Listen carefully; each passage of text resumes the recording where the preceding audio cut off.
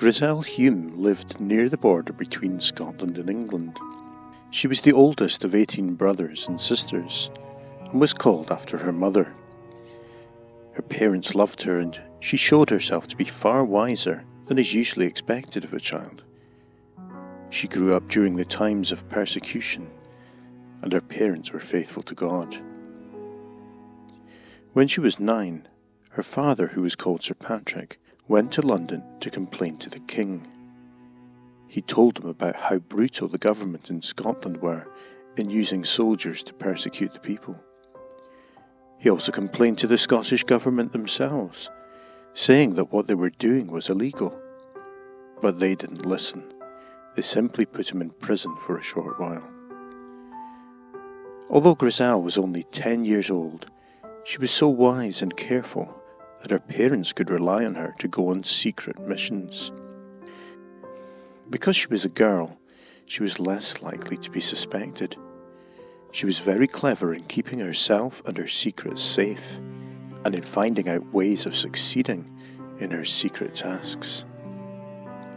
Her father's friend, Robert Baillie of Jerviswood, was in prison because he had rescued a minister from government troops. Grisell was sent on the long journey to Edinburgh, walking all the way. She had to see if she could get in to see Robert Baillie. She had been given a secret note that she was to give him when no one was looking. Somehow she found a way of getting into the prison and gave him the secret note from her father and took a reply back home. These were dangerous times, and Grisell was brave in going on these secret missions. A few years later, her father was put in prison once more. They moved him from Edinburgh to Dumbarton. This was a very long way from home, over a hundred miles. But during the year that he was imprisoned there, Grisell walked all the way several times to go and see him, bringing him her comfort and important information. By the time that Grisell was a teenager, the government decided to arrest Sir Patrick, her father. Troops came on two occasions to arrest him, but they didn't find him at his house. It was clear that he would have to find a hiding place. He decided to go to the family burying place, which was an underground vault at the local church, and only about a mile from the family home. Only Grisell, her mother, and one other man knew of the hiding place. Anyone else could be questioned by the government soldiers and might tell the secret. They even managed to get him a bed that he could use there. They had to take it there during the night so that nobody could see. It was completely dark in the burial place, and not at all a pleasant place to be. But her father had memorized the Psalms in Latin, and he found it helpful to repeat them now when he could not read in the darkness. Someone had to take him food and drink each day. Hubert Grisell was best for this job.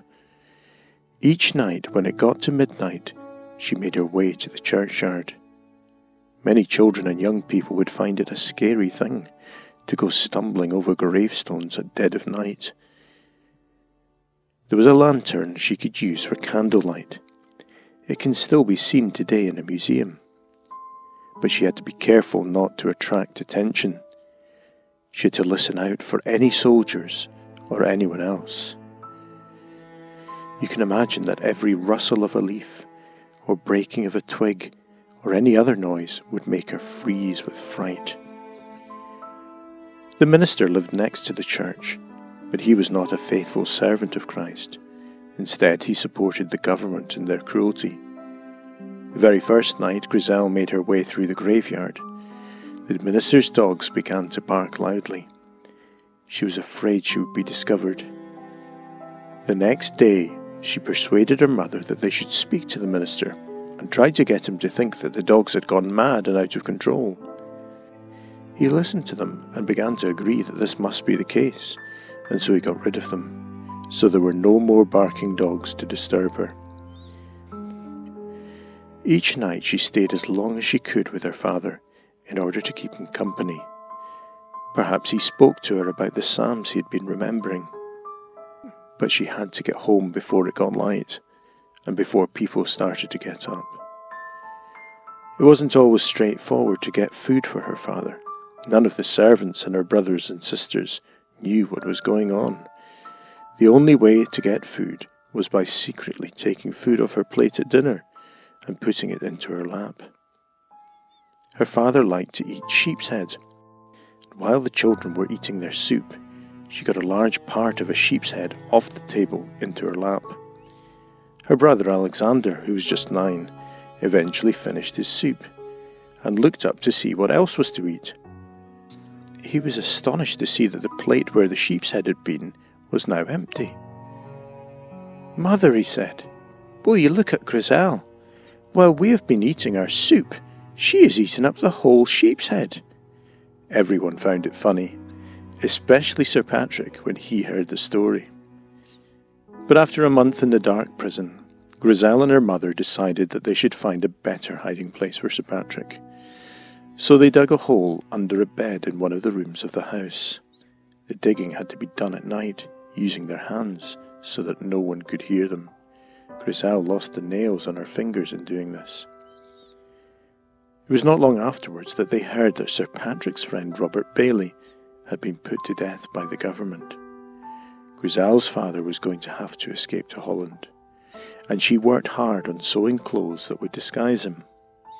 On the very morning of his escape, the soldiers came to the house just after he had left, but he got away to England and over the sea safely. Soon Grisell had to join him with the rest of the family because the government took away all that Sir Patrick owned. They stayed in Holland until the persecution ended. Sir Patrick once wrote that even danger is sweet if it is for Christ and country. That was the spirit that helped both Grisell and himself to be so brave in the dangers that they faced. I wonder whether Psalm 91 might have been one of the psalms that Grisell's father found most helpful. It says, He that dwelleth in the secret place of the Most High shall abide under the shadow of the Almighty. I will say of the Lord, He is my refuge and my fortress, my God, in him will I trust. It also says, Thou shalt not be afraid for the terror by night. At the end of the psalm it says, I will be with him in trouble, I will deliver him and honour him. If we have trusted the Lord to deliver us from the greatest danger, we can trust him in any other danger too. What is the greatest danger for every one of us? It is the danger of our soul. Our sin deserves to be punished by God. Sin in itself is so bad that it deserves the blackness of darkness forever and separation from God and everything that is good. But the Lord Jesus Christ has done everything necessary that our sin will be forgiven when we trust in Him alone. The last words of Psalm 91 are a great comfort to those who trust in Christ. They read, I will show him my salvation. Have you seen your need of this great salvation? And have you trusted in the Lord Jesus Christ for it?